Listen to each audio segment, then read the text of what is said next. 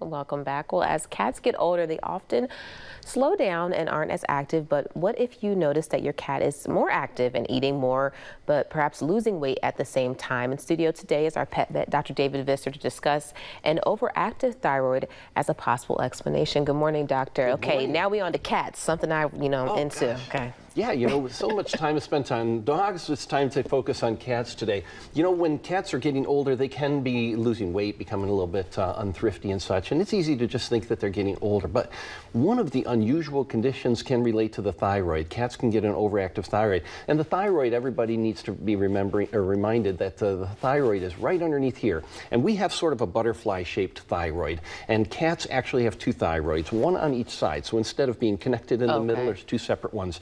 But um, there are two conditions that can affect the thyroid. One is that it's too low, not making enough hormone. That's called Hashimoto's disease in people. That's hypothyroidism. And the other one is where there's too much thyroid hormone being made, called hyperthyroidism. It's also called Graves' disease in people.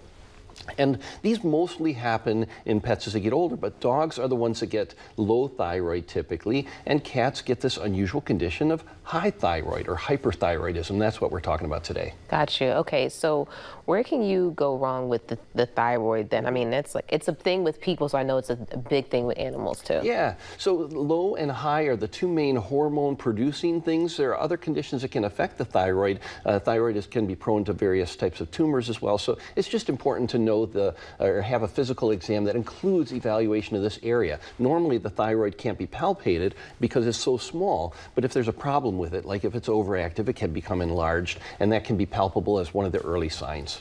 Okay.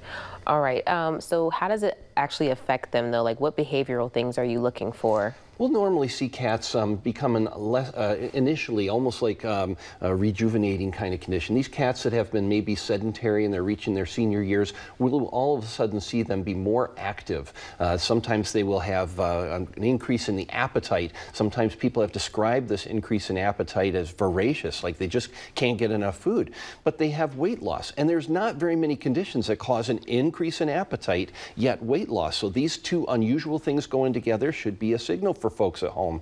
It certainly is for your veterinarian. But the stress that happens because of that overactive thyroid, a lot of um, uh, blood pressure increases can cause pressure on internal organs. Those inter internal organs can struggle in their normal functions and actually begin to shut down. And of course, this condition, as it produces the weight loss and the stress on the organs, can progress to be fatal if it is untreated. So this is important for us to not just see this as the rejuvenating uh, young uh, cat thing, fountain of youth, but rather that this is something that is a stress that, if perpetuated, uh, can affect the cat's longevity. Mm, okay. So what is what does it look like physically on the outside? Is there like any physical signs that you could say, okay, maybe this is besides just obviously losing weight?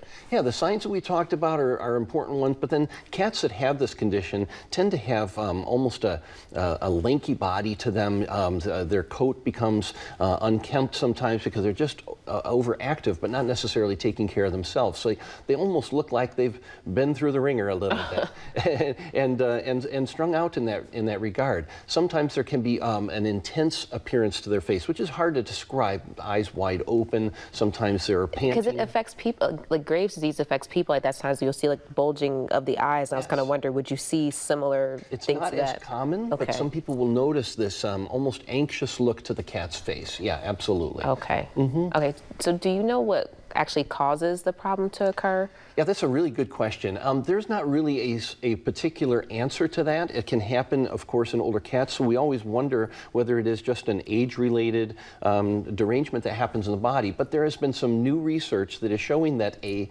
fire retardant uh, chemical used in furniture back in the 60s and 70s may play a role. And cats, of course, are spending most of their time on couches. Wow. And of course, they're getting exposed in this way. But they've drawn a correlation in people. They're wondering whether that same kind of correlation is in pets. Now, that's far from knowing that that's the case. But people that have old furniture, you know, have to be aware that it may still have some of that fire retardant if this is indeed a related um, cause. I didn't even know that. And that impacts people Mm-hmm. too.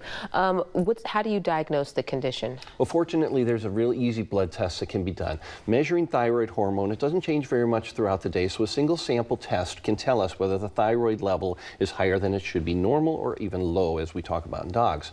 Based on finding that test uh, result tells us then what we need to do. Sometimes we'll need to make sure that the other internal organs are not adversely affected when we find that the thyroid is high, but in any case, a whole body evaluation prior to considering what treatment options there are.